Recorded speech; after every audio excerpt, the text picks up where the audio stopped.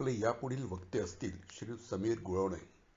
Instrumentation engineer असलेले श्रीयुत गुळवणे ठाणे येथील एका आंतरराष्ट्रीय कंपनीत वेस्टर्न रिजन सेल्स हेड म्हणून कार्यरत आहेत. निसर्ग अभ्यासक असलेल्या समीर यांनी दोन हजार सोळामध्ये अर्बन बायोडायव्हर्सिटी कॉन्झर्वेशन ग्रुप उर्फ यू बी सी जी या गटाची स्थापना करणारे हे founding member U B C G गटातर्फे society व शाळांमधून फुलपाखरू उद्यानाचे उपक्रम निसर्गविषयक व्याख्याने नेचर ट्रेल्स पक्षी निरीक्षण इत्यादींच्या कार्यशाळांचे आयोजन केले जाते. नागरिकांच्या सहभागाने तज्ज्ञांच्या मार्गदर्शनाखाली शहरामध्ये निसर्ग संवर्धन करणं हा या गटाचा मुख्य उद्देश आहे. लोकप्रभा तरुण भारत महाराष्ट्र टाइम्स या मासिक आणि वृत्तपत्रांमधून समीर गुळवणे यांचे निसर्गविषयक लेख प्रसिद्ध झाले आहेत. त्यांच्या व्याख्यानाचा विषय असेल फुलपाखरांचे अनोखे विश्व.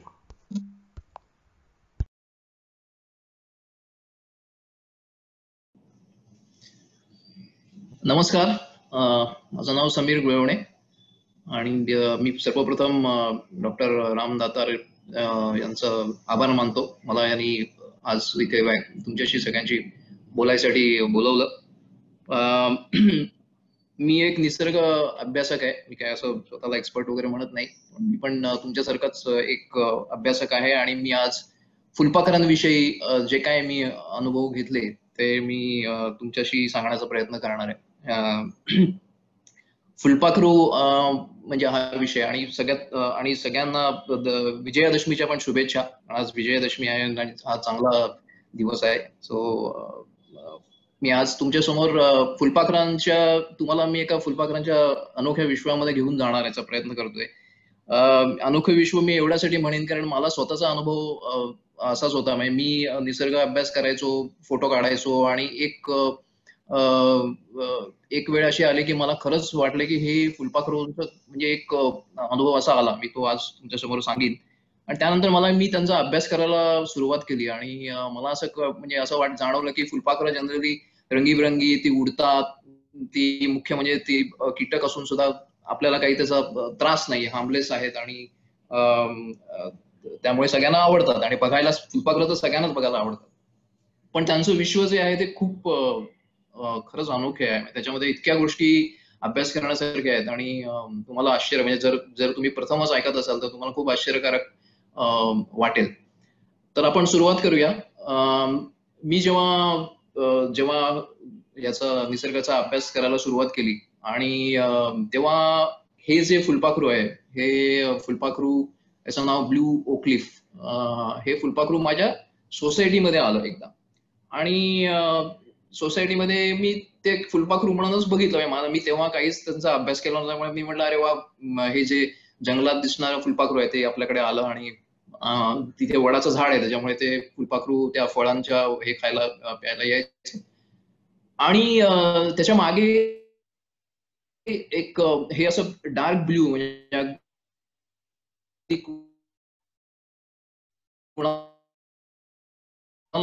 तुम्ही जर रस्त्यामध्ये जात असाल आणि ते समोर उडा दिसतो. आणि अचानक एक पक्षी आला.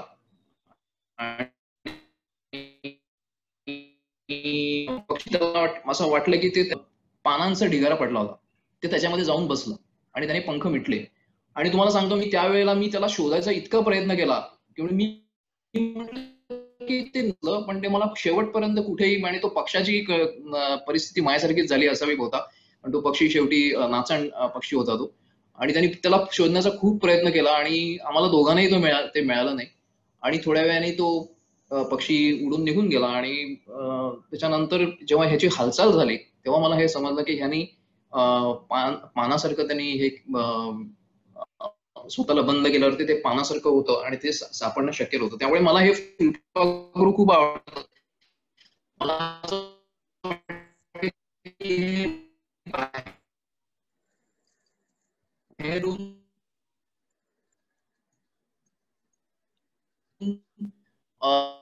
निसर्गाशी समरस झालेला आहे. आणि आतूनही त्याचे अंतरंगही तितके सुंदर आहे. मी अजून तर सुरुवात केलेली आहे त्याच्यामध्ये. भारतामध्ये अतिशय अभिमान वाटण्यासारखी शब्द हा मला वाटतं डॉक्टर महाजन पुण्याचे आहेत. त्यांनी हा हे केलेला आहे. तर जैवविविधता किंवा जीविधता म्हणू आपण तर खूप अभिमान करण्यासारखी गोष्ट आहे की भारतामध्ये आपल्याकडे वेगवेगळे प्रदेश आहेत. वेगवेगळे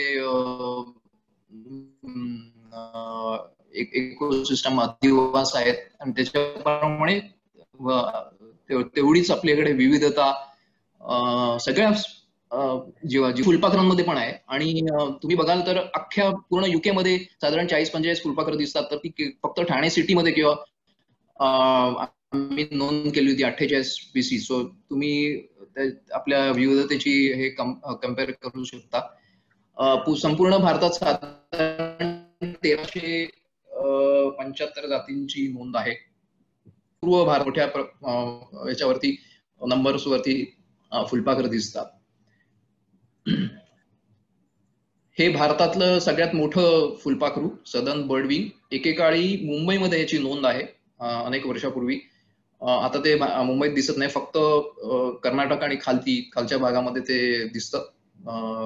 कोकणच्या मला वाटतं काही अशा खालच्या भागामध्ये हे दिसतं. याचं विंग स्पॅन जवळजवळ वन एकशे नव्वद एम एम आहे.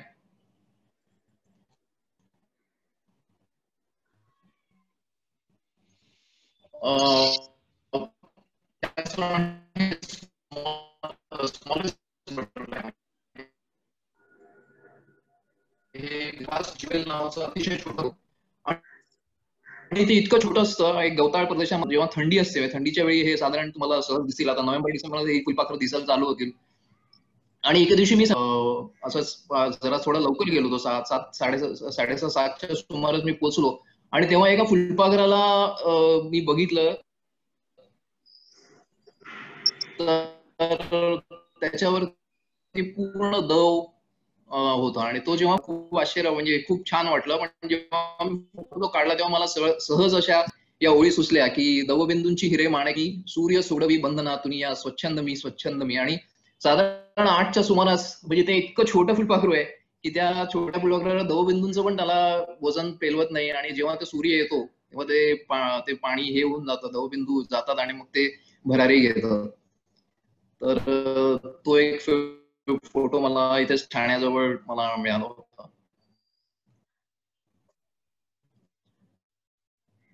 हे महाराष्ट्राचं राज्य फुलपाखरू. प्रमाण मला असं वाटतं की हे सगळं मला वाटतं पुण्यामध्ये पण हे सगळीकडे तसं हे चालू आहे बिल्डिंग चालू आहे त्यामुळे तुमच्या इथे जवळपास जर बेल कडीपत्ता किंवा लिंबू लिंबाची झाडं असतील तर तुम्हाला हे फुलपाखरू सहज दिसेल. खूप मोठ्या प्रमाणात हे दिसतंय. कदाचित लॉकडाऊनचा हा फायदा असेल. ब्रिटिशांनी या फुलपाखरांचं नामकरण केलं. मला असं वाटतं की हा मोठा त्यांचा सहभाग होता याच्यामध्ये कारण त्याच्यामुळे डॉक्युमेंटेशन खूप झालं. त्याला इंग्लिशमध्ये सगळी नावं मिळाली. कुठे सापडतात त्याची सगळी नोंदी झाल्या. आणि त्यांनी खूप म्हणजे त्याचं जे रंगरूप आहे त्याचं जे रंगसंगती आहे किंवा लेपर्ड आम्ही असं गमतीने म्हणतो की आम्ही आज मी आज चार वाघ बघितले चार टायगर बघितले दोन लेपर्ड बघितले. आणि यांच्या जवळ तुम्ही फुलपाखरांच्या जवळ जाऊन फोटो काढू शकता. पण उपलब्ध आहेत आणि ती पण लिस्ट अवेलेबल आहे. फुलपाखरांचं महत्त्व काय तर तो एकतर सगळ्यात महत्त्वाचा म्हणजे देशाचा अन्न साखळीतला अतिशय महत्त्वाचा घटक आहे. कीटक सरडा पक्षी अनेक पक्षी यांच्यावरती अवलंबलेले आहेत आणि तुम्ही स्पेशली बघाल की जेव्हा जे पक्ष्यांचे प्रोटीन्स म्हणून दिले जातात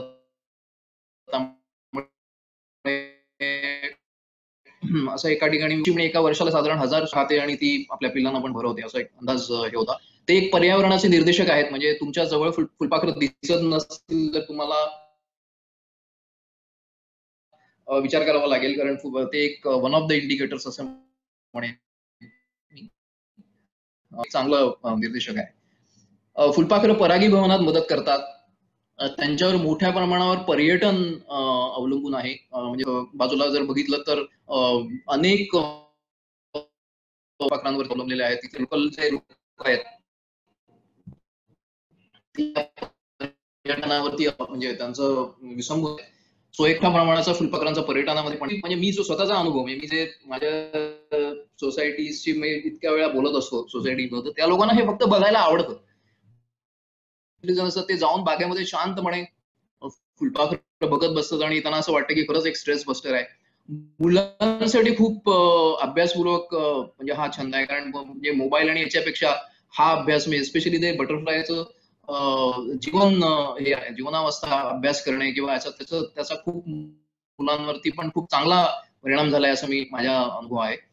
आणि अनेक ठिकाणी म्हणजे मला थोडस हे वाटतं वाईटही वाटतं की जाहिरातींमध्ये याचा उपयोग वाले फुलपाखरं आणि पक्षी यावे असतील तर आमच्याकडे येऊन जागा घ्या. पण ते थोडासा विरोधाभास वाटतो कारण तर त्यांची आपण उभी करतो आणि आपण सांगतोय की त्यांनाच वापरतोय चित्रामध्ये की आमच्या इथे फुलपाखर आणि विरोधाभास वाटतो. पण त्यांचं हे आहे म्हणजे अगदी कानातले डूल पासून मी बघितलं की फुलपाखरांचं वरती हे केलेलं किंवा त्यांचं चित त्यांच्या रंगसंगतीवरनं कपड्यांमध्ये वस्त्रोद्योगामध्ये ते वापरले गेलेले आहेत. टेक्स्टाईल मध्ये खूप मोठ्या प्रमाणात त्यांचा रेफरन्स वापरला जातो. कीटक वर्ग म्हटलं की थोडासा काही जणांचे थोडे हे होतात की कीटक सगळ्यांनाच आवडतात असं नाही. आणि जन म्हणजे बऱ्याच वेळा असंही बघितलंय की कीटक एखादी उडणारी वस्तू आली आहे आपल्या याच्यात तर पहिले आपण त्यांचं स्वागत झाडू आणि नाहीतर स्प्रेनिंग करतो असं. सगळ्याच जणांचं नाही पण बऱ्याच वेळा असं होतं कारण तर फुलपाखर त्या त्या दृष्टीने नशिबान आहेत. कारण फुलपाखरं ही कुठल्याही प्रकारची इजा करत नसल्याने आणि दिसायला छान असल्यामुळे त्यांना कोणी त्यांचं स्वागत होतं. आणि पण कीटक वर्ग खूप मोठा आहे. आणि त्याच्यामध्ये त्यांचे जे शारीरिक तुम्ही हे जर बघाल त्यांची मॉर्फॉलॉजी म्हणा म्हटला तर साधारण त्यांना दोन हे अँटेने दोन स्पृशा असतात. एक शुंडा असते. डोकं धड आणि पोट असे त्याचे तीन भाग असतात. आणि दोन पंख्यांच्या जोड्या आणि सहा पाय. हे साधारणपणे साधारणपणे मी असं म्हणेन त्याला एक्सेप्शन्स आहेत. पण साधारणपणे हे त्याचं वर्गीकरण होऊ शकतं. आणि फुलपाखरू कीटक वर्गामध्ये जातं. लेपिडोप्टेरा म्हणजे स्केली विंग त्यांच्या अंगावरती खवले असतात. म्हणजे मूळ फुलपाखराच्या ह्याच्यावरती रंग नसतो. ते खवले ट्रान्सपरंट असतात. त्याच्यामध्ये जे रंगाचे हे भरले जातात. आणि त्याच्यामुळे तुम्ही हा जर फुलपाखरा हात लावला तर तुमच्या हाताला रंग लागतो. तर तसंच पतंगांचं पण आहे. आणि बऱ्याच वेळा पतंग आणि फुलपाखरामध्ये थोडीशी गफलत होते. म्हणजे आपण पतंगाला पण फुलपाखरू समजतो. पण ते ऍक्च्युली एकमेकाचे चुलत भाऊ आहेत. तर ते म्हणजे ते दोन्ही त्यांची ऑर्डर लेपिडोप्टेरामध्येच येते. आणि त्याच्यामध्ये जर फरक बघाल तर आपण म्हणजे आता इथे डावीकडे जे या चित्रे पतंग किंवा मॉथ आपण म्हणतो ते आहेत आणि उजवीकडे जे आहे तर ते फुलपाखर आहेत. तर याच्यामध्ये काय फरक आहे आपण पटकन जाणून घेऊया. तर पतंग सहसा रात्री उडतात आणि फुलपाखरू दिवसा आवडतात तर काही अपवाद आहेत. म्हणजे संध्याकाळी येणार आजकाल सगळ्यांच्या घरामध्ये येणार ते इव्हनिंग ब्राऊन हे फुलपाखरू आहे. ते साधारण संध्याकाळच्या वेळेस म्हणजे सूर्य मावळतो तेव्हाही दिसतो. त्यामुळे त्याला काही एक्सेप्शन आहेत. त्यांच्या जे अँटेना असतात किंवा त्यांचे जे स्पृशा असतात त्यांना पिसासारखं त्या असतात. ते आपण कसं आहे ते बघूया पटकन. आणि यांच्या त्या मृदगलाकार असतात. त्यांना त्या पिसासारख्या किंवा फांद्यासारख्या नसतात. हे जे पतंग आहेत ते नेहमी पंख ही एक सोपी हे आहे ओळखायची की तुमच्या घरात जेव्हा येतात वरती ते चित्र जे आहे ते तसे तुम्हाला म्हणजे आपण एक मी म्हणेन जेट फायटर प्लेन जसं असतं नेहमी हे जे पतंग आहे तो नेहमी असाच बसतो. त्याला पंख दुमडता येत नाही फुलपाखराला पंख दुमडता येतात. हा मोठा फरक आहे. त्यामुळे त्याच्यावरून तुम्ही अगदी सहजपणे ओळखू शकता की हा पतंग आहे की फुलपाखरू.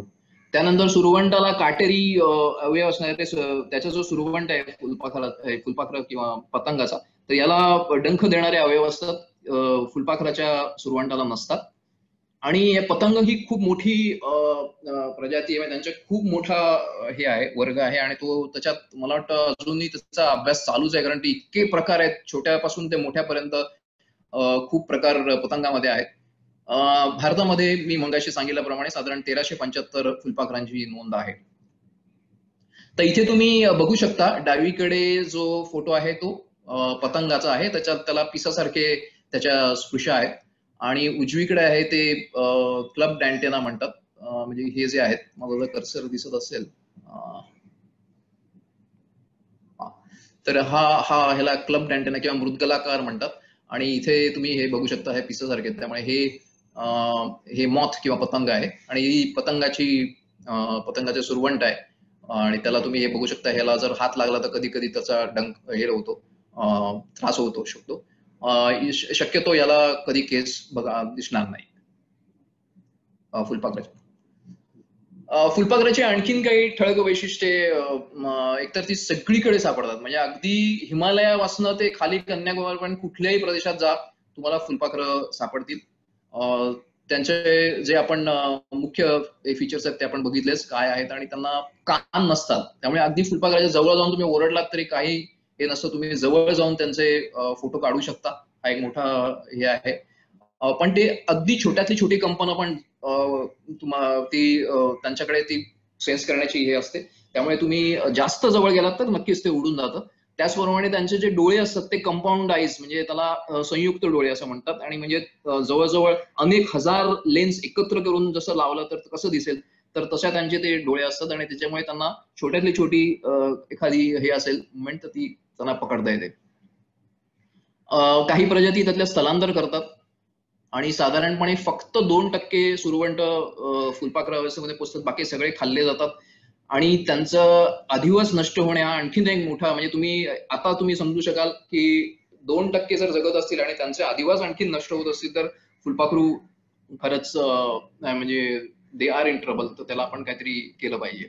आणि त्यांचं जर महत्त्व आपल्याला आपण बघितलं की ते अनेक पक्षी पक्षी आणि सरडे कीटक याच्यावरती अवलंबून आहेत त्यामुळे त्यांना वाचवणं फार महत्वाचं आहे. एकोणीसशे बहात्तरच्या वाईल्ड लाईफ ऍक्ट प्रमाणे फुलपाखरांना तुम्ही बंदिस्त करू शकत नाही. त्यामुळे आपल्याकडे अजूनही बंदिस्त असलेलं फुलपाखर उद्यान नाहीये कारण सरकारची त्याला परवानगी नाहीये. पण सिंगापूरच्या एअरपोर्टवरती मला वाटतं हे असं फुलपाखरांचं एक हे आहे. खूप मोठं आहे. आणि मला वाटतं युके मध्ये पण एक असंच फुलपाखरू क्लोज बटरफ्लाय गार्डन त्यांनी बनवलेलं आहे. पण भारतामध्ये अजून तशी परवानगी दिलेली नाहीये.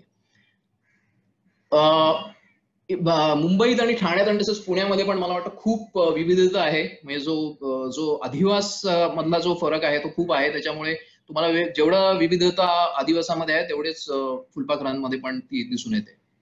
आणि मी मगाशी जसं म्हटलं होतं तसं की साधारण दीडशे फुलपाखरांची नोंद फक्त मुंबईमध्ये आहे. त्यामुळे खूप विविधता आपल्याकडे ऑलरेडी आहे. फुलपाखरांची कुळे हा म्हणजे ह्याच्यामध्ये मी जास्त वेळ घालवणार नाही कारण ही इन्फॉर्मेशन गुगलवरती पण अवेलेबल आहे त्यामुळे मला त्याच्यामध्ये जास्त सांगायचं नाहीये. पण त्याला साधारण ही सहा प्रकारची कुळं आहेत आणि त्यांचं वर्गीकरण केलेलं आहे. आणि ही माहिती तुम्हाला सहज उपलब्ध आहे. आयफॉन बटरफ्लाय वरती जर गेलात तर तरी पण तुम्हाला ही सगळी माहिती संपूर्ण माहिती मिळू शकेल. तर त्यांचे जे शारीरिक हे आहेत त्याच्याप्रमाणे त्यांचं वर्गीकरण केलेलं आहे. रंगावरनं आहे. म्हणजे काही जण ब्ल्यूजमध्ये आहेत काही येलो ऑरेंज म्हणून आहेत. अशा अशा प्रकारे पण त्यांचं वर्गीकरण केलेलं आहे. तर ही माहिती तो तुम्हाला सहज मिळू शकेल. फुलपाखरांचं जीवनचक्र ही पण एक खूप मोठी म्हणजे खूप मी म्हणेन की इंटरेस्टिंग गोष्ट आहे. त्याच्यामध्ये इतक्या गोष्टी घडत असतात. प्रथम नराला मादी शोधावी लागते आणि त्यांचं मिलन होतं. आणि त्यानंतर मग मादी अंडी घालते. अंड्यामधनं सुरवंट बाहेर येतो. सुरवंट वाढत जातो आणि तो एका कोशामध्ये जातो आणि कोशामधनं पुन्हा फुलपाखरू बाहेर येतो तो अंड सुरवंट कोश आणि फुलपाखरू असं साधारणपणे त्याच्या मुख्य चार अवस्था आहेत. तर इथे बघू शकता की तुम्ही ही जी मादी आहे ही मादी झाडांवरती आपला जे उदराचा भाग आहे तो असा वाकवून अंडी घालतीये. तुम्ही कधी एखाद्या झाडावरच्या जवळ येऊन फुलपाखरू पंख फडफडताना बघितलं तर तुम्हाला ते बहुतेक करून ते अंडी घालण्यासाठी असावं. तुम्ही जर नीट लक्ष दिलं तर तुम्हाला हे सहज बघू शकाल आणि तुम्ही अंडी पण सहजपणे बघू शकाल. तर हे लाईन बटरफ्लाय हे लिंबू लिंबाच्या झाडावर घालते आणि हे कॉमन आऊल नावाचं आहे फुलपाखरू. आणि याच्यामध्ये दोन मुख्य फरक होस्ट प्लांट आणि नेक्टर प्लांट हे होस्ट प्लांट म्हणजे ज्याच्यावरती फुलपाखराची मादी येऊन अंडी घालते ते त्याला होस्ट प्लांट किंवा खाद्य वनस्पती म्हणतात. आणि ज्याच्या ज्या फुलांवरती येऊन फुलपाखरं मधुरस सेवन करतात त्याला नेक्टर प्लांट म्हणतात. तर ही दोन्ही दोन्ही दोन्ही वनस्पती महत्त्वाच्या आहेत. पोस्ट प्लांट ही महत्त्वाचा आहे आणि मधुरस वनस्पती त्यांचं जेवण आहे त्याच्यामुळे तेही तेवढंच महत्वाचं आहे. फुलपाखरू हे उत्तम वनस्पती शास्त्रज्ञ आहे म्हणजे तुम्हाला आश्चर्य वाटेल की मी एका याच्यामध्ये वाचलं होतं की फुलपाखरांनी एका म्हणजे झाडावरती अंडी घातली म्हणून त्याचं वर्ग की फुलपाखरू हे आपल्या पायांनी वनस्पती ओळखतात आणि एक एका प्रजातीचं फुलपाखरू हे एका प्रजातीच्या झाडावरच अंडी घालतं त्याला दुसरी हे चालत नाही. आता हे स्पेशलायझेशन म्हणा किंवा काही म्हणा पण त्याच्यामुळे जर तुम्ही एखादी वनस्पतीचे जर तुमच्या शहरामधनं ती निघून गेली तर एक फुलपाखरूची प्रजाती नष्ट होऊ शकते. म्हणजे उदाहरणार्थ द्यायचं तर कॉमन बॅरन हे जे फुलपाखरू आहे हे आंब्यावरती अंडी घालतं. आणि त्याची बरेच व्हॉट्सअपवरती त्याचे व्हिडिओज आहेत की त्याला अशी ती थोडीशी केसाळ असलेली आळी आहे आणि हा काहीतरी दंश केला तर तुम्ही मरता वगैरे अशा प्रकारचे काही अफवा युक्त असे काही व्हिडिओ मी बघितले दुर्दैवाने. पण ती ऍक्च्युली कॉमन बॅरनची बटरफ्लाय आहे आणि त्यांनी काही हार्मफुल नाही. मी माझ्या घरी आंब्याच्या म्हणजे आमच्या मागेच आंब्याचं झाड आहे. त्याच्यावरती ते पूर्ण त्याचं चक्र बघितलं होतं. तर काही हे नाहीये. तसंच आशोप आलो किंवा खोटा अशोक म्हणतो त्याच्यावरती पण तेल जे येऊन घालतात अंडी तर त्यांना म्हणजे बेल कडीपत्ता लिंबू हे एक एका सिट्रस फॅमिलीचे झाड आहेत. तर आता कॉमन मॉर्मन आलं तर ते या तीन पैकीच झाड निवडेल. त्याला आंबा दिला तर ते घालणार नाही. त्यामुळे तुम्ही जर आंब्याचं झाड काढून टाकलेत तर ते कॉमन बॅरनला प्रॉब्लेम आहे. ते कुठेही अनलेस की त्यांचं दुसरं कुठलं तरी झाड त्यांचं जर असेल तरच शक्यता आहे. अदरवाईज त्यांना त्यांच्या अंडी घालायला त्यांना प्रॉब्लेम येणार. तर असं पाया त्यांच्या पायांमध्ये त्यांचे संवेदक असतात. ते पाया पायाने स्पर्श करून झाड ओळखतात आणि ते झाड ओळखून त्याच्यावर अंडी घालतात. आणि अंडी अंड्यामधनं सुरवंट बाहेर येतो आणि तो प्रचंड खादाड असतो. तो म्हणजे कंटिन्युअस तो खात असतो आणि वाढत जातो. त्यामुळे तुम्ही बघाल कधी कारण त्याच्याकडे वेळ कमी असतो आणि त्याला सतत धोका असतो. त्यामुळे त्याला पटापट वाढून त्याला कोश कोशामध्ये जायचं हा त्याचा एक उद्देश असतो. त्यामुळे ते बाहेर आल्यानंतर पहिले स्वतःच अंड खातो अंड्याचं कवच खातो आणि नंतर तो पानं खायला चालू करतो. ज्या झाडावरती त्याला अंड घातलेलं आहे त्याच झाडाची पानं तो खायला चालू करतो. तर अंड्याचा जो आकार आहे तो खूप छोटा असतो. म्हणजे मी म्हणेन की अगदी पेक्षा सुद्धा छोटा आणि छोटी अंडी असतात. आणि त्याच्यापासून ते त्यातनं सुरवंट बाहेर येतो आणि मग तो मोठा होत जातो. आणि त्याच्या मग अवस्था आहेत. आता या अंड्यामधनं हा सुरवंट बाहेर आला आणि त्याच्या अनेक त्याला इन्स्टार असं म्हणतात. ते वेगवेगळ्या इन्स्टारमधनं होत जातो. आणि इथे बघाल तुम्ही हे जे पहिले काही त्याच्या अवस्था आहेत त्या म्हणजे पक्षाच्या विष्ठेसारख्या आहेत. म्हणजे तुम्ही जर पानावरती खरंच बघितलं तर तुम्हाला कळणारच नाही की ही हा सुरवंट आहे. आणि खरंच दिसायला पाना पक्षाच्या विष्ठेसारख्या दिसतात. त्यामुळे त्यांचं संरक्षण होतं. आणि मग ते वाढत जातात.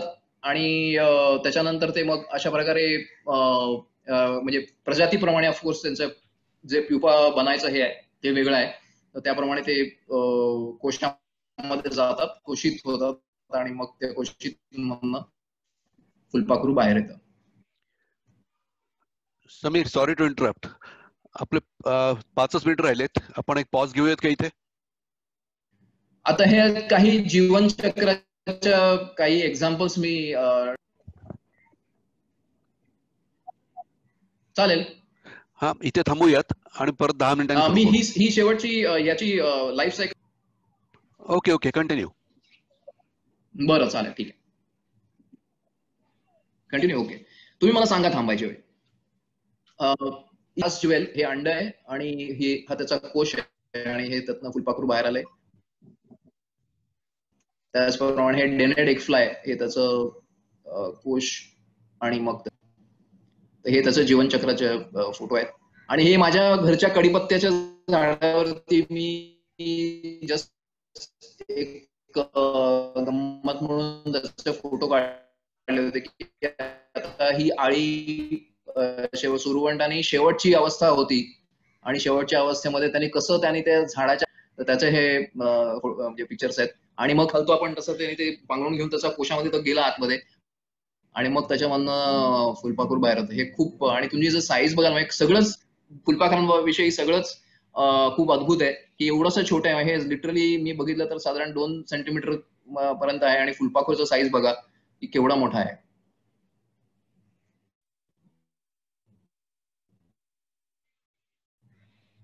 आणि मला हा क्षण खूप म्हणजे मी आता मागच्या रविवारच्या न्यूजपेपरमध्ये तुम्ही वाचलं. म्हणजे तुम्ही जर याचे सुरवंट आणि फुलपाखरू याचं जर कंपॅरिझन केलं तर सुरवंटाला चाव नसतात. त्याला पाय नाहीयेत. तो फक्त पुढे मागे पुढे जाऊ शकतो. त्याचा रंग पानाशी किंवा त्या या असा सुरवंट कोशितामध्ये जातो आणि जसं काही त्या म्हणजे तो जादूगार जसं ते नाही का ससाचं हे काढून कबूतर काढायचं तसं टाईपचं आणि एका दिवशी अचानक तो रात्री तुम्ही बघाल तर हा असा कलर असतो. आणि दुसऱ्या दिवशी बघाल तर त्याचा कलर असा डार्क झालेला असतो आणि त्याच्या आतमध्ये पूर्ण बदल झालेला असतो. मला हा खूप म्हणजे हा एक जो फुलपाखराचा भाग आहे मला खूप आवडतो. की कसं पूर्ण परिवर्तन त्यांच्यामध्ये होतं. आणि म्हणजे होत्याचं नव्हतं. म्हणजे पहिले सुरवंडाचे आणि आता फुलपाखराला चावायचे अवयव जातात. त्याला दोन पंख दोन पंखाच्या जोड्या येतात सहा पाय येतात त्याला दोन स्पृशा येतात आणि हे सगळं बदलतो. हे बदल बघणं खूप अद्भुत असतं असा मला म्हणजे मला स्वतःचा पण अनुभव आहे. आणि म्हणून मी मला असं वाटतं की हे हा जादुई क्षण आहे असं असं मला नेहमी. तर ह्याला संपूर्ण रूपांतरण असं म्हणतात. म्हणजे कीटक वर्गामध्ये सुद्धा दोन रूपांतरण आहेत. जसं की तुम्ही एखादा टोळ बघितला तर टोळ छोटा टोळ आणि मोठा टोळ सारखाच दिसतो. फक्त छोट्या टोळाला पंख नसतात. मोठ्या टोळाला पंख मोठं झालं की पंख येतात. पण फुलपाखराचं तसं नाहीये. फुलपाखरू हे संपूर्ण रूपांतरित होतं आणि स्वतःमध्ये पूर्ण बदलून ते एक नवीन हे बाहेर येतं आणि जमिनीवरचं जीवन संपवून ते आकाशामध्ये भरारी घेतं. त्यामुळे खूप छान हे आहे. त्याच्यावरती जोक्स पण आहेत. तुम्ही जर गुगल केलं तर बनवलेले काही जोक्स आहेत की इथे पोलीस म्हणतोय की अरे तुझं लायसन्स नाहीये कारण त्याचा फोटो जुना आहे. तर असं ह्याच्यावरती अवेलेबल आहे. हा नवीन विषय आहे फुलपाखरांचे अन्न. सो मला वाटतं इथे आपण पॉज घेऊन घ्यायचं असेल तर घेऊ शकतो आणि नवीन जॉईन करू शकतो. ओके मला वाटतं ते करूयात आपण. एक दहा मिनिटं द्या प्रत्येकाने आणि याच लिंक परत जॉईन व्हा. धन्यवाद. आता डिस्कनेक्ट करू? नाही हो मी मीटिंग एंड करतोय. हो राईट ओके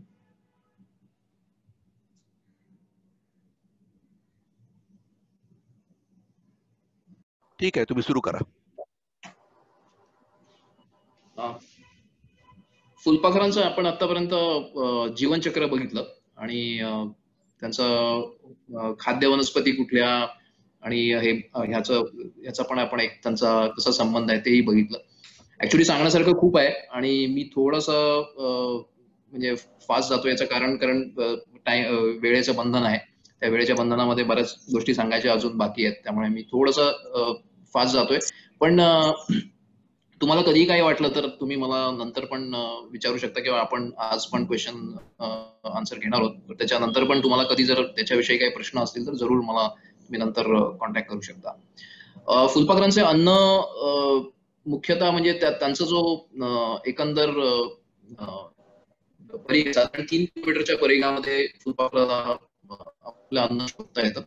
आणि त्याच्यामध्ये ते मुख्यत्वे फुलरस म्हणजे मधुरस सेवन करतं. आणि त्यामुळे मधुरस सेवन करणारी अनेक फुलपाखरं आहेत. आणि त्याच्यामध्ये एक विशेष अशी गोष्ट आहे की म्हणजे तुम्ही बघाल या सगळ्या चित्रांमध्ये फुलं फुलं वेगळी आहेत आणि त्याच्यावर येणारी फुलपाखरं वेगळी आहेत. आणि त्याचं कारण असं की त्यांच्या जी शुंड आहे त्याचा जो त्याचा जो त्याची जी लांबी आहे ती बदलते. त्यामुळे त्यांना हे आणि आणि हे एक नैसर्गिक हे आहे की त्याच्यामुळे ते वेगवेगळ्या फुलांवरती वेगळे त्यामुळे तुम्ही सुद्धा एखादी बाग जर बनवत असाल तर त्याच्यात जर तुम्ही फुलांमध्ये विविधता आणलीत तर ते येणारे फुलपाखरं पण वेगवेगळी असू शकतील. तर त्या फुलांच्या याच्याप्रमाणे आणि फुलं फुल फुलं आणि फुलपाखरू यांचा खूप म्हणजे हा एक वेगळा अख्खं याच्यावरती एक प्रेझेंटेशन होऊ शकतं. की फुल आणि यांचा कसा संबंध आहे? तिकडे तुम्ही बघाल की हे फुल आहे आणि त्याचा जो मधुरस आहे तो अगदी खालती आहे. आणि हे ग्रास डेमन फुलपाखरू आहेत आणि त्याची जे म्हणजे उजवीकडे जर तुम्ही बघाल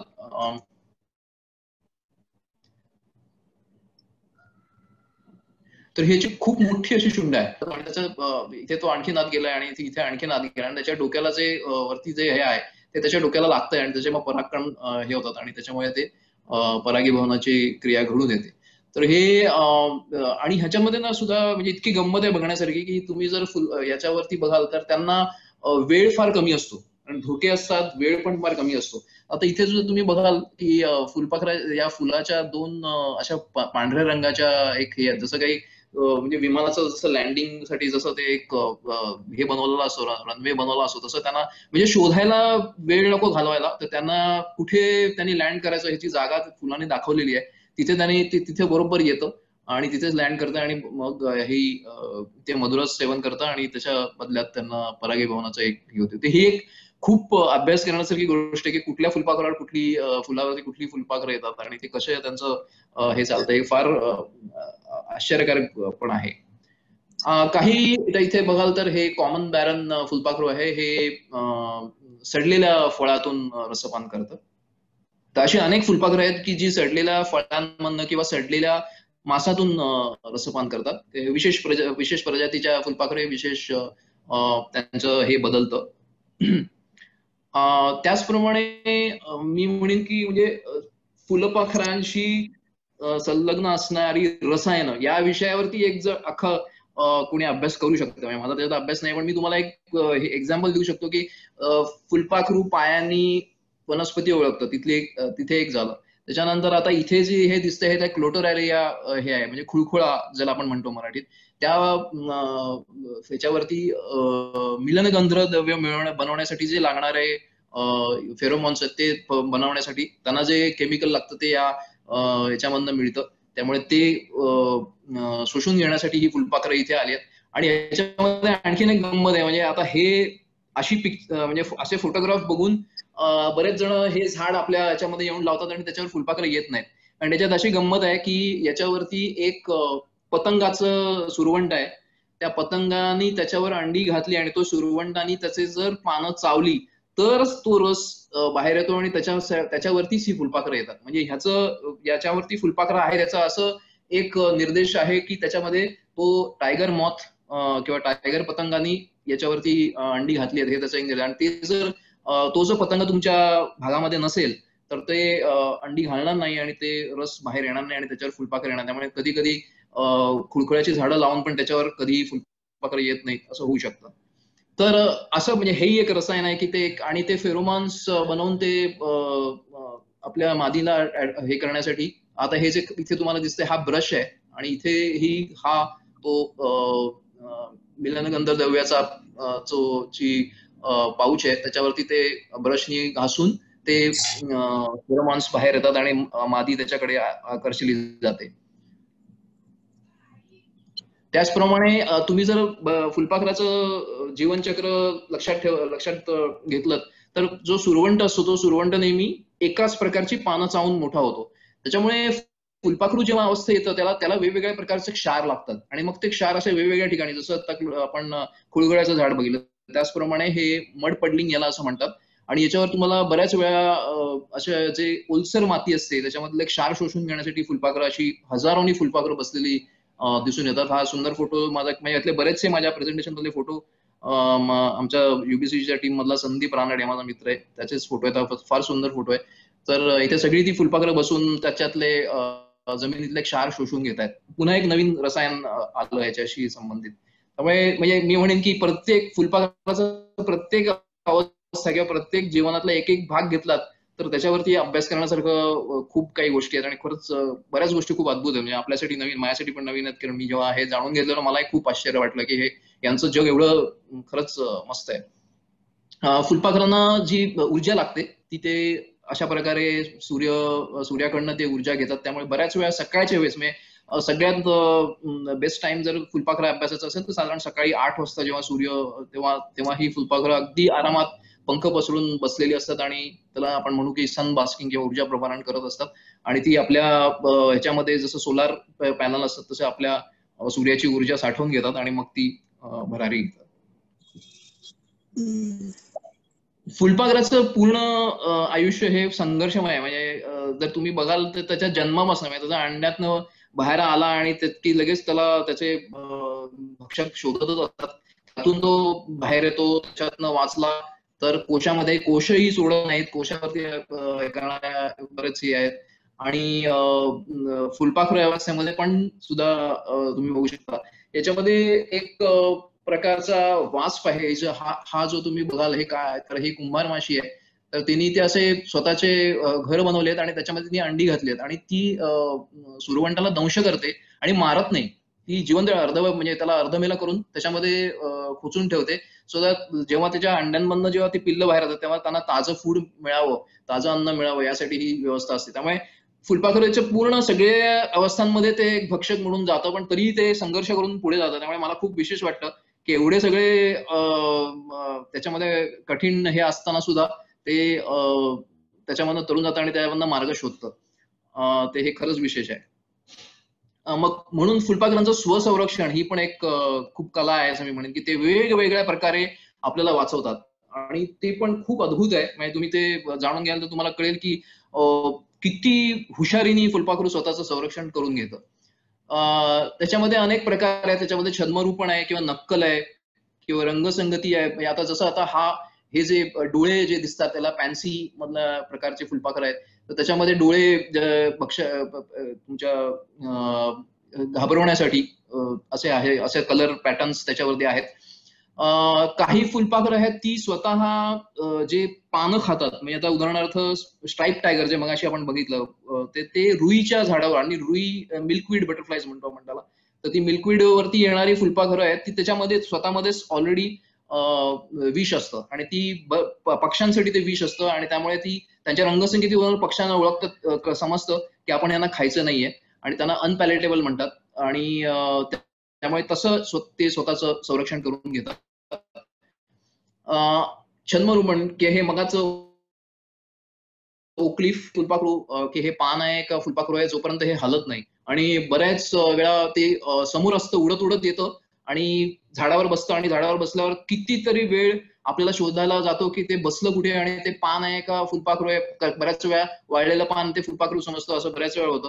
तर हे छन्मरूप आहे ते मी म्हणेन की म्हटलं तसं की ते निसर्गाशी इतकं एकरूप झालेलं आहे की तुम्ही ते पानासारखंच स्वतःला करून घेतं. जेव्हा ते आपले पानं आपले जेव्हा पंख बंद करतं.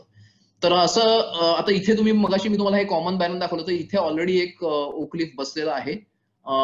पण त्याचं जर तुम्ही बघाल तर त्याला एक जीवन हे मिळालंय. एक जीवन मिळालंय कुणीतरी त्याला तोडायचा खायचा प्रयत्न केला पण ते त्यातनं वाचलंय. त्याला थोडस पंख उडायला त्रास होणार पण तरी पण ते वाचले आणि ते आता सध्या इथे रसपान करते असं दिसतंय. पण ते पटकन समजणारच नाही की हे ओकलिफ इथे बसलंय म्हणून. त्याचप्रमाणे जसं मी म्हणेन की नकलाकार असे हे आहेत की ही जी ही जी फुलपाखरं आहेत ही सगळी अनपॅलेटेबल पक्षी न खाण्यासारखी कारण यांचे ज्या यांचे जे खाद्य वनस्पती आहेत त्या विषारी आहेत. त्यामुळे त्या विष विष स्वतःच्या अंगात असल्यामुळे आता हे फुलपाखरू हे कॉमन रोज आहे. ते लाल रंगावरनं फुल पक्ष्यांना समजतं की हे खाण्यासारखं नाहीये. चुकून एखाद्या पक्षाने खाल्लं तर लगेच ते बाहेर टाकून देतं आणि त्यांचं संरक्षण होतं. अशा प्रकारे ह्या रंगसंगतीवरनं तर त्यांनी मुळातच ह्या हे अडॅप्टेशन केलेलं आहे की त्यांनी जी आपली जी खाद्य वनस्पती ती अशा प्रकारे ठेवलेली आहे की ज्याच्यामुळे त्यांचं फुलपाखरामध्ये झालं रूपांतर झाल्यावर त्यांचं संरक्षण होतं. आता ह्याच्यामध्ये नकलाकार आहे किंवा आपण त्यांना तोतया म्हणू किंवा आणखीन काही म्हणू की त्यांना माहीत असतं की ही प्रजाती पक्षी खात नाहीत. मग आपण त्यांचं कोट चढवूया. आणि तो कोट असा घालायचा की त्यांना वाटलं पाहिजे की मी तो आहे. म्हणजे मी नक्कल आता हा प्लेन टायगर आहे ही मूळ प्रजाती आणि त्याची नक्कल करणारी डेनेड फ्लाय आणि हे सगळे अर्थातच मादीमध्ये हे हे दिसतं. कारण त्याचं ऑब्विस रिझन आहे की मादींना पुढची प्रजाती निर्माण करायची असते त्यामुळे त्यांचं जगणं फार त्यांना स्वतःला वाचवणं फार महत्वाचं असतं. त्यामुळे हे हा हा जो प्रकार आहे हा मादींमध्ये दिसतो. आणि जास्ती करून. आणि त्याच्यामध्ये तुम्ही बघाल की त्यांनी अक्षरशः त्याचा म्हणजे जर ते उडत असेल तर ते पक्षांना समजणार नाही की हे प्लेन टायगर आहे का डेनेड फ्लाय आहे. आणि तोपर्यंत त्याची ते स्वतःला वाचवून वाचवतं. त्याचप्रमाणे खालती जे आहे हे स्ट्राईप टायगर आहे आणि तुमच्या इथे जर नारळाची झाडं असतील तर त्याच्यावर येणारे हे पामफ्लाय आहे. तर त्याचं जे माझी आहे तर तिचं पण तुम्ही बघाल तर ते खूप ह्याच्यामध्ये काळे जे हे आहेत ते नाहीये त्याच्यामध्ये. पण ते पटकन उडताना समजत नाही. तर हे असे नकलाकार पण फुलपाखरं आहेत आणि ते स्वतःच संरक्षण करून घेतात. आणि अशी अनेक एक्झाम्पल्स आहेत. फुलपाखराचे स्थलांतर हे एक अद्भुत गोष्ट आहे. म्हणजे एवढस चार इंचाचं फुलपाखरू आणि चार हजार साडेतीन ते चार हजार किलोमीटर प्रवास करतं. असं जेव्हा पहिल्यांदा समजलं ते कॅनडा ते म्हणणं मेक्सिकोला जाणाऱ्या फुलपाखरांचं मोनार्क जे बटरफ्लाय आहे तर मोनार्क बटरफ्लायचा जो कॅनेडियन संशोधक होता फ्रेड अर्खट आणि त्याची पत्नी त्यांनी ते शोधलं. आणि ते जवळजवळ चाळीस वर्ष ते त्याच्यावरती काम करत होते. आणि त्याच्यानंतर त्यांनी जेव्हा टॅगिंग करून तेव्हा जेव्हा बिल्ले लावून त्यांनी त्याचा नागरिकांना त्याच्यामध्ये त्यांनी सहभागी केलं. आणि त्याच्यानंतर मग त्यांना समजलं की हे मेक्सिकोच्या एका एका ठिकाणी जाऊन ती फुलपाखरं जातात. तर असा एवढा मोठा प्रवास करून ती जातात. हे किती खूप अद्भुत आहे हे तेव्हा फर्स्ट टाइम त्यांनी ते अर्काट यांनी मांडलं होतं. तर याच्याविषयी भारतामध्ये पण भरपूर अभ्यास झालेला आहे. म्हणजे आणि मला वाटतं डॉक्टर कृष्णमय कुंटे यांचा त्याच्यावरती एक शोध निबंध आहे. आणखीनही मला वाटतं त्याच्या म्हणजे भारतामध्ये ते एस्पेशली जे दक्षिण भारतामध्ये याच्यावरती अभ्यास झालेला आहे. आणि आम्ही आमच्या ग्रुपनी हा एक संजय गांधी नॅशनल पार्कच्या ठाण्याच्या ह्याच्यामध्ये आम्ही हे त्याला याला कॉन्ग्रिगेशन म्हणतात. तर फुलपाखरं जेव्हा म्हणजे तुम्ही जर बघाल तर फुलपाखरं ही ही एकटीच फिरतात. म्हणजे अशी जसे पक्ष्यांचे थवे असतात तसे फुलपाखरं थव्यांमध्ये फिरत नाहीत ती एकटीच असतात. पण एका विशिष्ट वेळी ती एकत्र येतात. आणि त्या त्याला तेव्हा स्थलांतराची वेळ असते तेव्हा ते एकत्र येतात त्यांना कोण सांगतं की तिथे यायचं? म्हणजे आम्ही दोन हजार सोळा मध्ये हे पहिल्यांदा बघितलं की अशी ती एकत्र एका ठिकाणी आलेली. आणि तेव्हा आम्हाला काहीच माहीत नव्हतं. दोन हजार सतरा मध्ये आम्ही तिथेच गेलो आणि पुन्हा साधारण तोच थंडीचा काळ होता. आणि पुन्हा ती तिथेच आली. म्हणजे जर तुम्ही फुलपाखराचं जर जीवनचक्र बघितलं तर साधारण ते प्रजातीप्रमाणे बदलतं. पण साधारण तीन ते चार महिन्याचं म्हणू आपण. म्हणजे ही नवीन पिढी आली होती. मग या नवीन पिढीला ऍड्रेस कोणी दिला? त्यांना कळलंच कसं की इथे यायचं? आणि मग कशामुळे ती इथे आली? ते ते खूप सगळं कोड आहे. आणि ती दरवर्षी तिथे येतात त्याच जागेवर येतात. आणि मला वाटतं ते त्यांच्या जेनेटिक्स प्रमाणे त्यांना तो ऍड्रेस मिळत असावा. आणि ती तिथे एकत्र येतात आणि मग ती पुढे स्थलांतर करत असावीत असा एक अभ्यास आहे. सगळ्यात मोठा धोका फुलपाखरांचा कोणाचा असेल तर तो अर्थातच मानवाचा आहे. कारण आपण त्यांचे अधिवास नष्ट करतोय आणि तुम्ही जर बघितलं आता की खाद्य वनस्पती आणि मधुरस वनस्पती यांच्यावरती त्यांची अवलंबून आहे संख्या. आणि तेच आपण नष्ट करतोय. म्हणजे त्यांचे रस्ते किंवा डेव्हलपमेंट आणि याच्यामध्ये त्यांचं नष्ट करतोय. आणि जंगलतोड एकीकडे चालू आहे. त्यामुळे पुन्हा जंगली वनस्पती आहेत ज्याच्यावरती फुलपाखर येणार ती पण नष्ट होत चालली आहेत. आणि एक्झॉटिक स्पीसीस परदेशी वृक्ष आपण खूप प्रमाणात लावतो. म्हणजे माझा असं काही हे नाहीये की कोणाच्या म्हणजे झाड ते शेवटी झाडच आहे. पण त्याची खूप बेसुमार लागवड करण्यामध्ये तुमचा जो अधिवास आहे त्याची जी हे आहे प्रत आहे ती खराब होते. आणि त्याच्यामुळे जे स्थानिक पक्षी आणि फुलपाखर आहेत त्यांना काही त्याची मदत होत नाही. त्यामुळे तो एक मोठा प्रश्न आहे. त्यामुळे स्थानिक झाडं लावणे आणि स्थानिक हे करून लोक जे स्थानिक फुलपाखर आहेत त्यांना मदत करणं फार जरुरी आहे. त्यांचा अवैध व्यापार चालतो. आणि बऱ्याच वेळा सुरवंटाला कीड म्हणजे माझ्या स्वतःच्या बिल्डिंगमध्ये मी जेव्हा हे सुरुवात केली होती तेव्हा मी एक असंच गणपतीमध्ये एक छोटा कार्यक्रम करून हे सांगितलं होतं की असं असं होतं म्हणून फुलपाखराचं काय हे असं आहे जीवनचक्र आणि तेव्हा एका एक फॅमिली होती त्यांना इतकं वाईट वाटलं की ते म्हणा अरे आमच्याकडे कडीपत्ता लावतो आणि त्याच्यावर आम्ही आम्हाला वाटतं की कीड आहे आणि आम्ही ते प्रत्येक वेळी म्हणजे आम्ही फुलपाखरं मारत होतो. त्यांना इतकं वेट वाटलं आणि त्यांनी ते पूर्ण चक्र जीवनचक्र त्यांचं त्यांनी त्यांनी फोटो काढून ते मला पाठवायचे की अरे आमच्याकडे आता हे आलंय आणि त्याचे अंडी दिसत आहेत आणि त्याच्यावर हे आलंय आणि फुलपाखरू बाहेर आलं त्यामुळे इतकं आनंद झाला की शेवटी हा आपण फुलपाखरांना वाचवलं. तर थोडस अवेअरनेसची गरज आहे कारण आपण त्यांना कीड म्हणून समजतो ती कीड नसते ऍक्च्युली ते सुरवंट असतात. आणि कीटकनाशकांचा पण वापर खूप प्रमाणात बागेंमध्ये केला जातो आणि त्याच्यामुळे फुलपाखरांना तो हानिकारक असतो. तर मग आपण काय करू शकतो? याच्यावरती आम्ही म्हणजे आमचं एक युबीसीची म्हणून ग्रुप आहे. मी आणि विशाल शिंदे आम्ही दोघांनी मिळून हे स्थापनाची सुरुवात केली होती. आणि त्याच्यानंतर मग प्रशांत आणि अंजली देशपांडे संदीप रानडे फोटोग्राफर याचे बरेचसे फोटोज जे तुम्ही मला प्रेझेंटेशनमध्ये बघताय संदीपचे आहेत. रचना सोनार सुरेखा शेट्टी जयेश तुषार कुलकर्णी आणि अजित झांसा आमचा एक ग्रुप झाला आणखीन आता मेंबर्स ऍड होत आहेत. आणि आम्ही मग ठरवलं की आपण नागरिकांच्या सहभाग आम्ही स्वतःच निसर्ग अभ्यासक होतो पण मग आम्ही बऱ्याच एक्सपर्ट म्हणजे जसं डॉक्टर राजू कसंबे किंवा यांचं मार्गदर्शन केलं आणि यांच्या सगळ्यांचे मी मार्गदर्शनाखाली काम केलं. आणि बरेच एक्सपर्टशी ते पुस्तकं रेफर केली म्हणजे आता फुलपाखरांवरती अनेक पुस्तकं उपलब्ध आहेत. किमकर आयझॅक किमकरांचं आहे. त्याच्यानंतर याच्यात काम करणारे बरेच लोक आहेत. जसं डॉक्टर शुभलक्ष्मी आहेत किंवा मला वाटतं आत्ताच जे पुस्तक आलंय. डॉक्टर ठोंबरे सर आणि यांचं हेमंत ओगळे यांचं फार सुंदर पुस्तक आता आलेलं आहे. तर त्यांचंही त्याचप्रमाणे डॉक्टर कृष्णमय कुंट्यांचं पुस्तक आहे. त्यामुळे अशी बरीच पुस्तकं आणि हे इन्फॉर्मेशन अवेलेबल आहे. मग आम्ही असं ठरवलं की नागरिकांचा सहभाग घेऊन एक्सपर्ट्स जे कोण तज्ज्ञ आहेत त्याच्यात त्यांचं मार्गदर्शन घ्यायचं आणि फुलपाखरांची बाग बनवायची. कारण फुलपाखर नुसती फुलपाखरांची बाग का बनवायची? तर एकतर याच्यामध्ये बरेच फायदे आहेत की तुम्हाला लोकांना फुलपाखर बघायला आवडतात. फुलपाखर हे खरंच एक म्हणजे मी असं म्हणेन की आनंद देणारी देणारी हे आहे कीटक आहेत.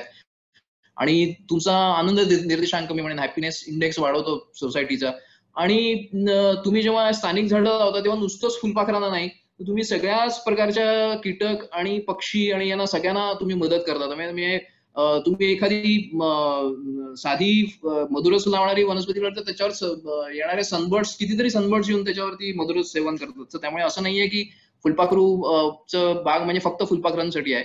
त्यामुळे याचा फायदा खूप होतो आणि मुख्य म्हणजे सहभाग होतो मुलांचा सहभाग होतो. मुलांना खूप आवडतात मुलांना आणि फॅमिलीजना हे.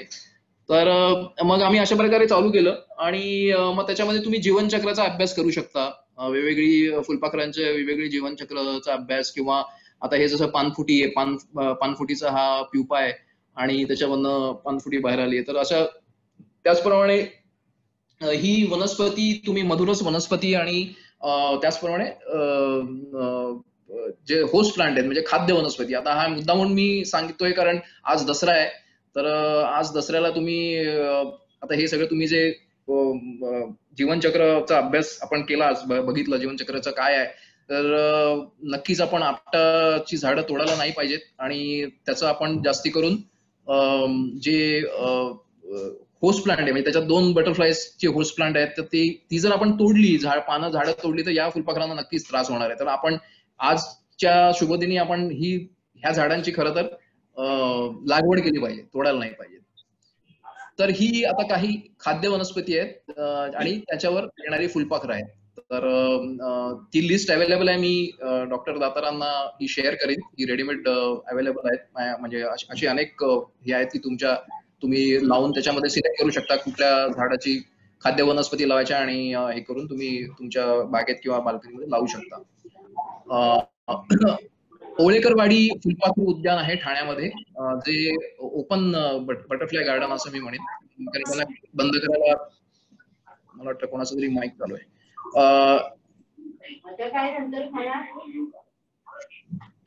एक विनंती आहे की सगळ्यांनी माईक आपले बंद करावे प्लीज ठाण्यामध्ये ओळेकरवाडी म्हणून फुलपाखरू उद्यान आहे. खूप सुंदर उद्यान आहे. तुम्ही त्याला जरूर भेट द्या. त्याच्यामध्ये अनेक प्रकारचे फुलपाखरं तुम्हाला बघायला मिळतील. आणि आता सीझन चालू होतोय. तर आम्ही जेव्हा ठरवलं तर आम्ही काही सोसायटीजना अप्रोच केलं की आपल्याला काही करता येईल का? आणि त्या तीन सोसायटी म्हणजे दोन हजार सतरा सोळा सतराची गोष्ट आहे. त्याच्यामध्ये तिथून आमची सुरुवात झाली प्रवासाची. त्यानंतर अनेक शाळा आणि अनेक सोसायटींनी हे फॉलो केलं. तर त्यावेळेला निळकंड एक एक केस स्टडी सांगून मग मी थांबणार आहे. त्याच्यानंतर काही प्रश्न असतील तर घेऊ. तर ही एक सोसायटी होती जिकडे त्यांनी त्यांना त्यांच्याकडे जागा पुष्कळ होती. आणि त्यांनी आम्हाला सांगितलं की आम्हाला तुम्ही द्या आणि तेव्हा त्यातल्या तज्ज्ञ डॉक्टर म्हणजे राजू कसंबे तर होतेच आणि डॉक्टर ललका भागवत म्हणून त्या पण त्यांनी त्यांचंही आम्हाला याच्यात मार्गदर्शन झालं तर मग आम्ही ठरवलं की ह्यांना त्यांना इन्व्हॉल्व करून आपण तज्ञांच्या याच्याकडे मार्गदर्शनाखाली हे फुलपाखरू उद्यान बनवूया. आणि मग त्याचा आराखडा ठरवला जागेचा सर्वे केला कुठली वनस्पती लावायच्या कशी जागा आहे हे करून. मुख्य म्हणजे आम्ही माळ्यांना आता हे माझ्या सोसायटी मधले माळी आहेत ते ते मला सुरवंट दाखवत आहेत. तर अशा प्रकारे माळी मुख्य याच्यामध्ये त्यांची त्यांचं हे फार महत्वाचं असतं. त्यांना थोडस मार्गदर्शन करून त्यांना सांगून त्यांना सूचना देऊन त्यांची मदत फार महत्वाची होती. तर अशा प्रकारे आम्ही त्या सोसायटी मेंबर्सना घेऊन केला आणि त्याच्यामध्ये मला एक अनुभव पटकन सांगावा वाटतो की म्हणजे कसा बदल होतो की सोसायटी मेंबर्समध्ये काही सोसायटी मेंबर्स आले पुढे निलकंठ टाईम्स मधले आणि त्यातल्या ज्या एक गृहिणी होत्या त्या म्हणाल्या की मला खूप म्हणजे फुलपाखरं बघायला आवडतं पण मला याविषयी काहीही माहिती नाहीये. म्हणजे माझे काही त्याच्यामधले काही हे पण नाही बॅकग्राऊंड पण नाही आणि मला माहीत नाही पण मी तुम्हाला मदत करायला म्हणून सोसायटीला मदत करायची म्हणून मी येते. आणि सहा महिने आम्ही तो प्रयोग केला आणि सहा महिन्यांनी जेव्हा आम्ही एक प्रेझेंटेशन केलं केलं तेव्हा त्यांनी सोसायटीच्या वतीने फुलपाखरांवरती प्रेझेंटेशन दिलं. आणि तेवढंच नाही तर तुम्हाला माहिती असेल तर आपले पर्यावरण एक मॅगझिन आहे. त्याच्यामध्ये त्यांनी फुलपाखरांवरती आणि आपल्या फुलपाखराच्या बागेवरती लेख लिहिला. तर मला वाटतं हा खूप चांगला बदल झाला आणि लोकांची इन्व्हॉल्वमेंट पण वाढली आणि खूप छान वाटलं. एका मुलीनी हा प्रोजेक्ट भाबाचं जे हे आहे त्याच्यासाठी घेतला आणि तिला सिल्वर मेडल मिळालं. सो हे सगळ्या त्यांच्या स्लाइड्स आहेत. त्यांनी जेव्हा प्रेझेंटेशन केलं होतं त्यांच्या अनुमतीने मी तुम्हाला दाखवतोय. तर त्यांनी कसं प्रकारे म्हणजे काय काय ऑब्झर्व केलं आणि काय काय कसं त्यांना त्यांच्यासाठी होतं. त्यानंतर आमची मदत घेऊन त्यांनी फुलपाखरांची नोंद केली सहा महिने की कुठली कुठली फुलपाखरं दिसली आणि त्यांच्या याच्यामध्ये सत्तेचाळीस फुलपाखरांची नोंद झाली होती त्यावेळेस त्यांच्या त्यांच्या बागेमध्ये. तर असा हा छान प्रयोग होता आणि मग आम्ही हे तीन टोटल तिन्ही सोसायटी मिळून अठ्ठेचाळीस फुलपाखर दिसली आणि जसं आता जून जुलैपासून आणि मग आता ऑक्टोबर आणि नोव्हेंबरमध्ये तो नंबर पण वाढत जातो. आणि मग ते कसे स्पेसिस दिसला ते पण आम्ही त्याचा एक अभ्यास केला आणि तो सबमिट केला होता. बीएनएचएस ला पण आम्ही एक प्रत त्याची पाठवली होती. तर डॉक्टर राजू कसम यांनी आम्हाला त्याच्यामध्ये मार्गदर्शन केलं होतं.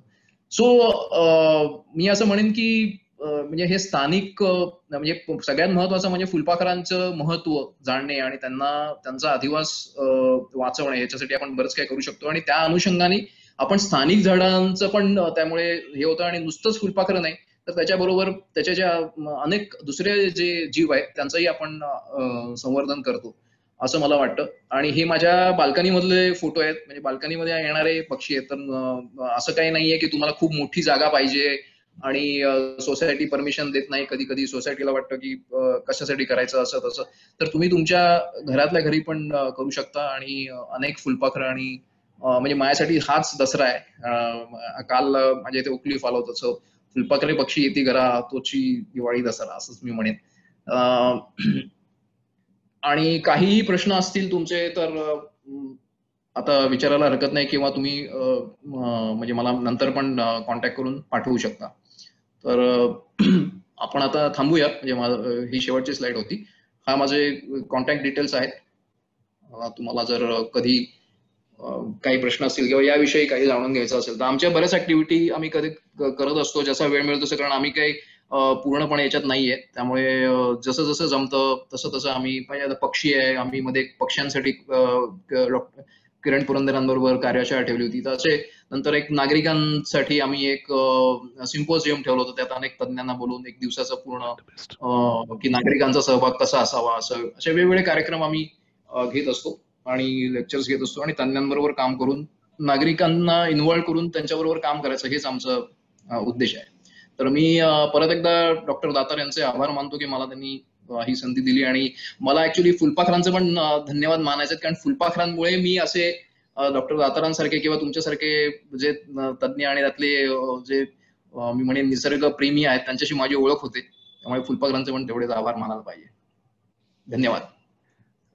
धन्यवाद समीर. उत्तम लेक्चर झालं. आपल्याकडे अनफॉर्च्युनेटली दहाच मिनिट शिल्लक आहेत.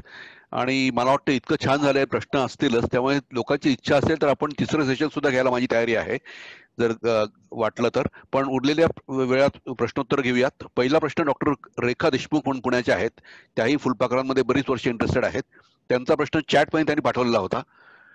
त्यांचं म्हणणं पुण्याच्या आसपास कुठे कॉंग्रिगेशन असलेल्या जागा आहेत का? त्या त्यांना बघायला आवडतील.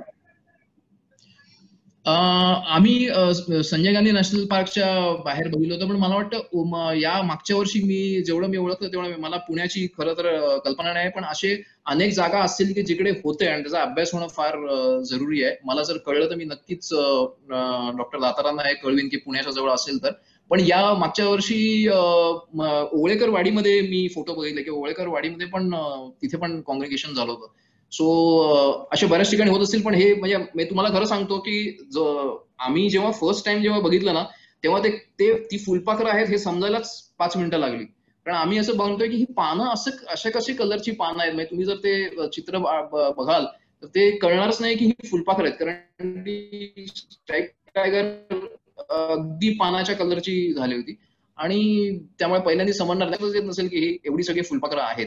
पण ते अभ्यास करणं फार जरुरी आहे आणि असं मला वाटतं की तुमच्यासारखे फुलपाखरू तज्ज्ञ किंवा फुलपाखरू प्रेमी जर असतील तर आपण एकत्र येऊन पण असं म्हणजे हे होऊ शकतं की की कुठे कुठे दिसतात त्याचा एक मॅप बनवायचा आणि त्यांची हे बघायची असा अभ्यास करणं शक्य आहे. मला वाटतं सहवर्धनच्या तर्फे आणि तुमच्या सहभागाने आपण पुण्यात असं सुरू करू शकू. इनफॅक्ट सहवर्धन नाशिकला सुद्धा आहे. त्यामुळे इतरही ठिकाणी आपण युबीसीजी आणि सहवर्धन या एकत्र येऊन अशा प्रकारची उद्यान उभारता आली तर नक्कीच प्रयत्न करूयात. आम्हाला आवडेल ते करायला. एक प्रश्न तुम्हाला गुरुदास नुलकर म्हणून ते विचारतात की what are some of the challenges to get societies to make the butterfly gardens can you make a small ebook on butterfly gardens for us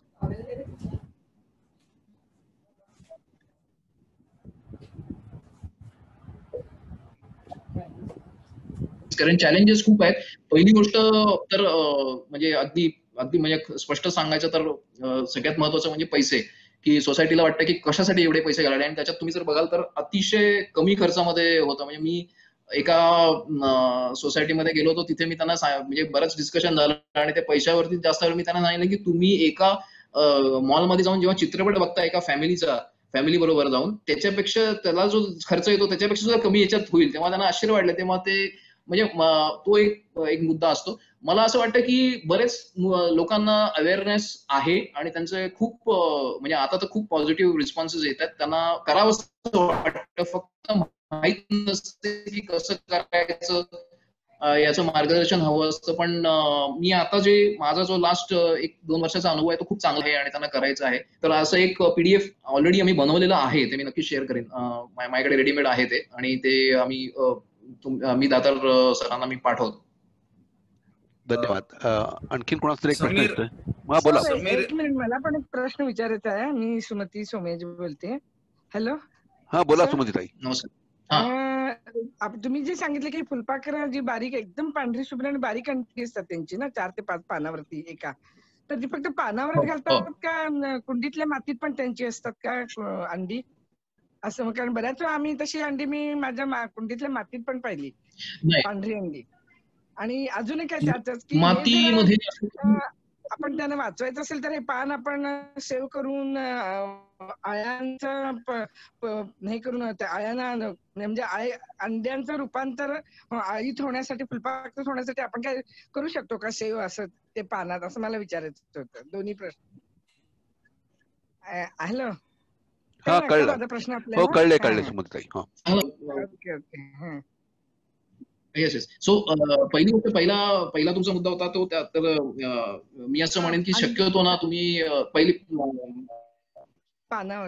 ज्या झाडं आहेत ज्या जी जी खाद्य वनस्पती आहे त्याच्यावरच तुम्ही शक्यतो त्यांना राहू द्यायचं त्याला हवं तर एक साधं नेट येतं. आपण जे भाजीसाठी वापरतो ते नेट बांधून तुम्ही त्यांना देऊ शकता. त्याला त्याला मी म्हणेन की इन्स्टिट्यूट कॉन्झर्वेशन की त्यांना बाहेर काढलं ना तर ते काढू शकता नवीन पानं हा अंडी असताना सुद्धा येतात आणि अगदी तुम्ही काढून तुम्ही ते एखाद्या डब्यामध्ये ठेवून त्यांना रोज नवीन त्याच झाडाची पानं खाला घालून ते त्याचं रूपांतर होतं. पण त्याच्यापेक्षा सुद्धा पंधरा मिनिट. नाही नाही तो प्रयोग मी केलेला त्याच्यापेक्षा सुद्धा तुम्ही जर ब्ल्यू मॉर्मनचा परंतु मला असं विचारायचं की ती जेव्हा अंडी अंडीच्या रूपात असतात तेव्हा आपण त्याला सेव्ह कसं करू शकतो? तुम्ही म्हणता तसं त्याच्या भोवती जाळी नेट लावावी असं म्हणता का तुम्ही? पानाभोवती नेट लावायला हवी का? सगळीच्या सगळी ऍक्च्युली अंडी अंडी हा अंडी तशी हा अंडी नंतर जेव्हा जी आळ्यामध्ये रूपांतर होतं त्याच्यानंतर त्यांना धोका जास्त असतो. अंड्यांना तसा धोका नसतो तर त्या आळ्या झाल्यानंतर मग तुम्ही त्याला एक छोटस पांढरं नेट. हा तर हा पक्षी खातात म्हणजे. ठीक आहे प्रत्येक ठिकाणी असं करणं पण अयोग्य.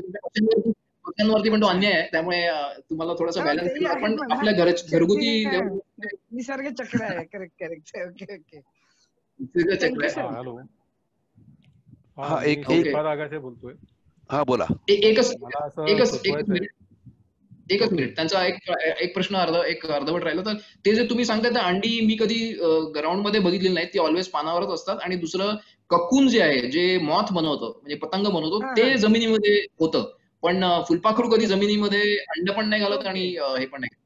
पुढचा. गोगलगाईची वगैरे असतील कदाचित असेल दुसरं कुठल्या तरी याची असणार. Okay thank you thank you sir.